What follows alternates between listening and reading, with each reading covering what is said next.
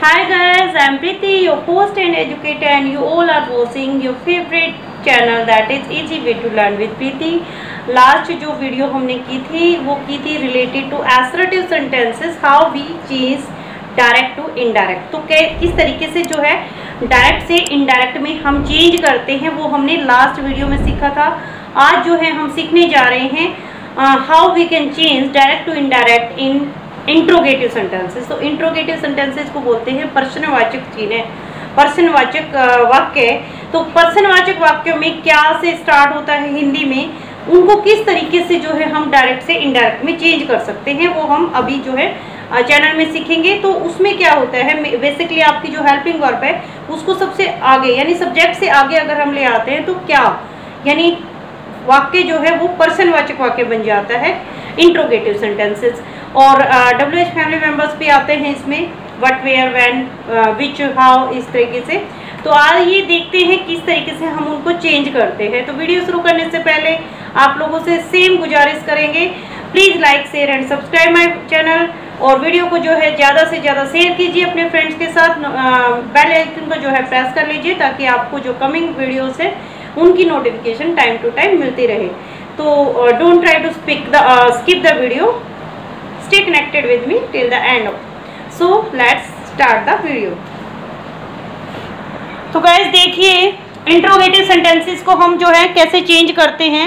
Interrogative sentences यानी अभी मैंने बताया प्रश्नवाचक चिन्ह प्रश्नवाचक वाक्य जिनको कहते हैं आ, उसमें जो है रिपोर्टिंग आ, स्पीच के अंदर यदि प्रश्नवाचक है तो उसमें इनडायरेक्ट में चेंज करते वक्त क्या क्या बातें आपको ध्यान रखनी होंगी? सबसे फ़र्स्ट जो रूल है सेड टू सेड टू आपका फ़र्स्ट रूल होता है, उसमें आप क्या करेंगे? सेड टू को चेंज करेंगे, किसमें चेंज करेंगे? Asked said to change into asked तो सेड टू जो है आपका आस्ट में चेंज हो जाएगा, या इंक्वायर्ड में चेंज हो जाएगा, या डिमांडेड में चेंज हो जाता है। और हेल्पिंग वर्ब आती हैं आपकी, जैसे हेल्पिंग वर्ब यहाँ इन्वर्टेड कोमास के बाद आएगा। ईज एम आर आता है was were has have had do does did shall will would should इस तरीके से आता है। तो यहाँ uh, जो है जो भी हेल्पिंग वर्ब आपकी आएगी उसको आपने चेंज करना है। रिपोर्टिंग वर्ब के बाद जो लगाते uh, जैसे आपको रिपोर्टिंग वर्ब के बाद जो कोमा लगता है उसको रिमूव करना है। इन्वर्टेड कोमा को भी रिमूव करना है। बट यहाँ पर आपको दैट से कनेक्ट नहीं करना है ओके दैट की जगह हम क्या लगाएँगे? इफ़ या वेदर दैट की जगह क्या लगाएँगे? इफ़ या वेदर ओके और जो है वी टू यानी वर्ब के सेकंड फॉर्म का यूज़ करेंगे डू डज वाले वाक्य में। डू डज के बाद नोट लगा है तो डिड नोट में चेंज हो जाएगा। ये बातें आपको ध्यान रखनी है, कोई भी पर्सनवाचक वाक्य, अगर आपका who what when why how ये यानी डब्ल्यू एच फैमिली मेंबर्स बोलते हैं इनको। डब्ल्यू एच फैमिली मेंबर से अगर आपका कोई भी पर्सनवाचक वाक्य या स्टार्ट होता है तो आप क्या करेंगे इनडायरेक्ट में चेंज करते हुए कंजक्शन इफ़ या वेदर का ही यूज़ करेंगे का यूज़ नहीं करेंगे वहाँ पर वहाँ पर क्या करेंगे आप? डब्ल्यू एच फैमिली मेंबर्स का भी मैंने यहाँ पर कोई एग्ज़ाम्पल लिखा है यस अगर आपको डब्ल्यू एच फैमिली मेंबर से कोई एग्ज़ाम्पल मिल जाता है तो आपको as it is W H family member से ही रिपोर्टेड स्पीच को कनेक्ट करना है रिपोर्टिंग वर्ब से. ये ध्यान रखिएगा। अब एग्ज़ाम्पल भी करेंगे। डिड वाले जो भी सेंटेंसेज हैं वहाँ पर आप क्या करेंगे? डिड को हटा के इफ़ इफ़ से कनेक्ट करेंगे और हेड प्लस थर्ड फॉर्म ये तो आपको जनरली रूल पता भी है डिड में हम जो है हेड प्लस थर्ड फॉर्म लगाते हैं वी थ्री और जो भी आपके जो इंट्रोगेटिव सेंटेंसेज आ जाते हैं, वहाँ पर इनडायरेक्ट में चेंज करने के लिए, जो मतलब आपको इनडायरेक्ट में जब चेंज करेंगे ना इनडायरेक्ट सेंटेंसेज को, जब आप डायरेक्ट से इनडायरेक्ट में चेंज करेंगे तो यहाँ पर तो आपका इंट्रोगेटिव सेंटेंसेस को सिंपल एसरेटिव बनाना है सिंपल बनाना है आपको. यहाँ पे क्वेश्चन मार्क नहीं आएगा। देखिए एग्ज़ाम्पल करते हैं।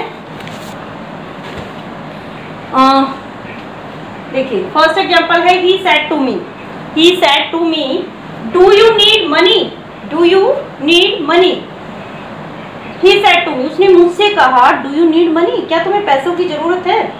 He asked me question mark है तो इंट्रोगेटिव सेंटेंस है। ही आस्ट मी उसने मुझसे पूछा इफ़ आई नीडेड मनी क्या मुझे पैसों की ज़रूरत है? इफ़ आई नीडेड मनी क्या मुझे पैसों की ज़रूरत थी?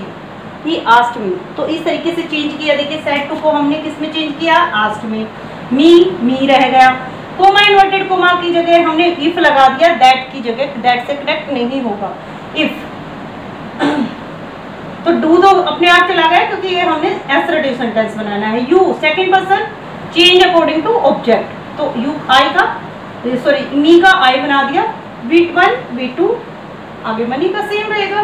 सी सैड टू मी समझ के करते हैं। सी सैड टू मी तो सैड टू को आस्ट में चेंज कर दिया हमने। कोमा इन्वर्टेड कोमा रिमूव किया इफ़ बना दिया।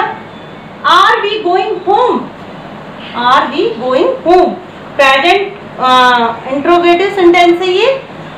तो आर बी गोइंग होम तो यहाँ पर जो है आर तो रिमूव हो ही जाता है, जो भी आपका फ़र्स्ट हेल्पिंग वर्ब से आप स्टार्ट करेंगे, सिर्फ़ W H family as it is आएगा तो वी क्या है हमारा? I we we I we you I we I my me we our us तो ये हमारा फ़र्स्ट पर्सन में आता है।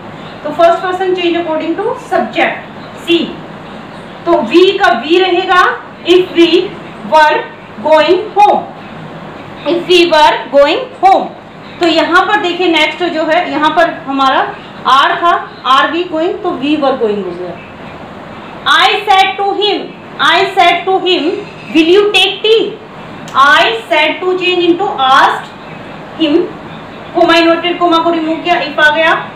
Will you you second person change according to object if he will का चेंज हो जाता है वुड में. If he would take tea okay the teacher said to me the teacher asked me did you come late if I had come late मैंने अभी बताया भी था डिड जो है डिड वाले जो भी सेंटेंसेज आएँगे आपके तो उसमें क्या हो जाएगा आपको? Did change into had plus third form did will change into had plus third form तो ये ध्यान रखिएगा सभी डिड वाले जो सेंटेंसेज है उसमें हेड प्लस थर्ड फॉर्म आ जाएगा ओके नेक्स्ट देखिए आपका she said to me she said to me who teaches you English who teaches you English तो यहाँ पर डब्ल्यू एच फैमिली आ गया। सी आस्ट मी ये तो हो गया। सेट टू को आस्ट में चेंज किया। सी आस्ट मी हु का हु रह जाएगा? Okay who teaches taught who, T A U G S T, who taught me English? You का हमने बना दिया according to object me who taught me English तो इस तरीके से चेंज करेंगे हम. You can take the screenshot समझ के करेंगे, जल्दी समझ आएगा. और क्रैम करने का कुछ होता भी नहीं है इसमें. जो भी आप करें, समझ के करें, ताकि आपको जो है लाइफ लॉन्ग याद रहे. अब करते हैं कुछ और एग्जाम्पल्स ये देखिए कुछ और एग्ज़ाम्पल हम करते हैं. Prem said to Priya Prem said to Priya why did you not attend the meeting कि तुमने मीटिंग अटेंड क्यों नहीं की? Why did you not attend the meeting तो यहाँ पर आएगा Prem asked Priya. Said to को हमने चेंज किया। आस्ट में Prem asked Priya. Why did you not attend the meeting why she had not attended the meeting why did को हमने चेंज कर दिया? Had plus third form why she she कहाँ से आया? यू जो है वो सेकंड पर्सन होता है। तो second person according to object change होता है। ऑब्जेक्ट हमारा आ, जो है गर्ल है तो गर्ल के लिए सी आ गया। Why she had not attended the meeting okay next देखिए I said to her I said to her मैंने उससे पूछा where do you want to go where do you want to go तुम कहाँ जाना चाहते हो? तो यहाँ पर चेंज करेंगे सेट टू को आस्ट में आई आस्ट हर वेयर का वेयर रहेगा आपका? Where she change according to object where she wanted to go तो फ़र्स्ट फॉर्म वी वन को हमने चेंज कर दिया we to where she wanted to go it's very easy Hari said to his father Hari said to his father said to change into asked Hari asked his father comma inverted commas को remove करेंगे when का when आ जाएगा।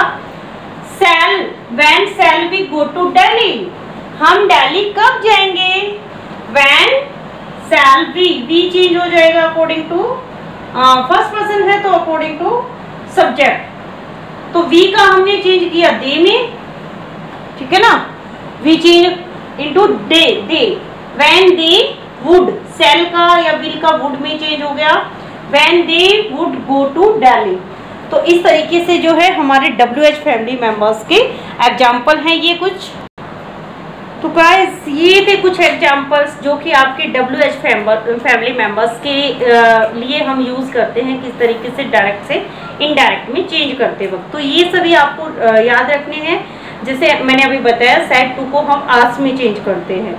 और comma inverted commas को remove करके if या whether आता है इफ़ से हम कनेक्ट करते हैं। जितनी भी हेल्पिंग वर्ब्स आएँगी तो हेल्पिंग वर्ब्स को किस तरीके से चेंज करना है आपको? और जो डब्ल्यू एच फैमिली मेंबर्स है, वहाँ पर आपको दैट से कनेक्ट नहीं करना है कंजेक्शन दैट नहीं आएगी। Same as W H family member जो भी आया हुआ है, जिससे भी क्वेश्चन बना है सेम एज वही आप आगे लेकर आएँगे। इसी तरीके से जो है आप और एग्ज़ाम्पल करेंगे, ज़्यादा से ज़्यादा आप जो है अपनी तरफ़ से सेंटेंस बनाने की कोशिश कीजिए। ताकि आपके जो डाउट्स हैं आपका जो टॉपिक है वो इजिली माइंड में इस तरीके से फिट कर लीजिए कि लाइफ लॉन्ग वो कभी भी कोई भी आपसे किसी भी तरीके का क्वेश्चन पूछे related to topic you can easily tell तो गाइस इसी होप के साथ जो है नेक्स्ट वीडियो में मिलेंगे।